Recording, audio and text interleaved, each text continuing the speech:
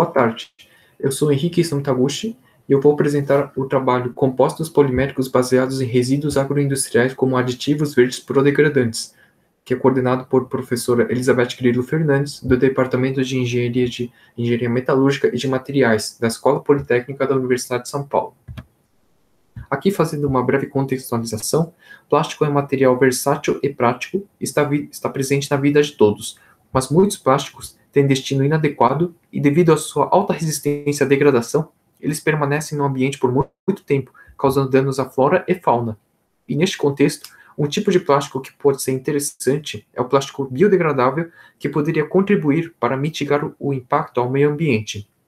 Ele geralmente contém um composto chamado prodegradante, como o próprio nome sugere, ele consegue acelerar o processo de biodegradação dos plásticos e eles são a base de íons metálicos, tais como ferro, cobalto e manganês, que atuam como catalisadores da reação.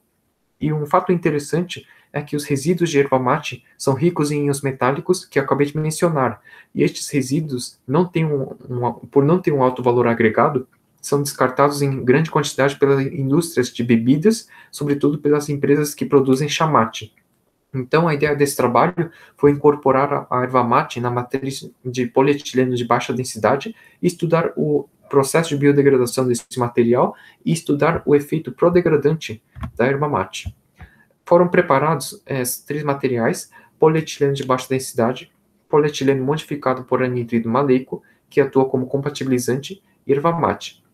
Com base nelas, foram pensadas em cinco formulações, que estão, que estão sendo mostradas na tabela 1. É, mas por conta das dificuldades impostas pela pandemia, só foram de fato preparadas as amostras C e D. E na 3 está sendo mostrado o tanque em que as duas amostras foram mergulhadas. O tanque é alimentado por esgoto e efluentes da CRUSP e restaurante central. E para que as amostras fiquem estáveis dentro do tanque, elas foram fixas nas placas de acrílico, por, por cima a placa vazada e por baixo a placa contínua e nesse conjunto da figura 3, esse conjunto da figura 3 foi mergulhado no tanque. E as amostras ficaram dois meses no tanque, e para monitorar o processo de biodegradação, todo mês as amostras é, foram retiradas do tanque para serem submetidas às caracterizações.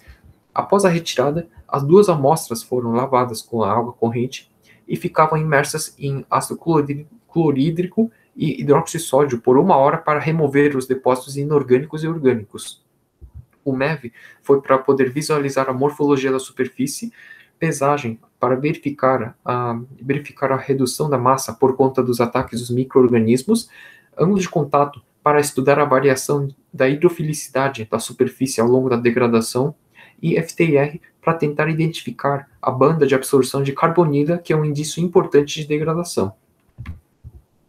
E falando dos resultados é, que foram obtidos em dois meses de degradação, no MEV foi possível observar microorganismos que construíram colônias na superfície das duas amostras que ficaram dois meses imersas. Quanto à pesagem, a redução da massa foi maior na amostra contendo erva mate, erva mate, sobretudo do mês 0 para o mês 1. E no ângulo de contato, o resultado esperado era de redução gradual desse ângulo, o que significa é superfície mais hidrofílica, mas a amostra contendo mate à direita indicou um aumento. Uma provável justificativa é que na região na qual o ângulo foi analisado, o biofilme, que não foram totalmente removidos, os biofilmes que não foram totalmente removidos nas lavagens e tratamento com ácidos e bases, tenham contribuído para o aumento é, de hidrofobicidade. E para o FTR, uma banda importante é que fica em torno de 1760, destacada na figura, o que indica a presença do grupo carbonila, que se forma geralmente quando o polietileno é degradado e oxidado por ação dos microrganismos. Só que no caso estudado, tal banda não foi é, verificada, como mostra o espectro.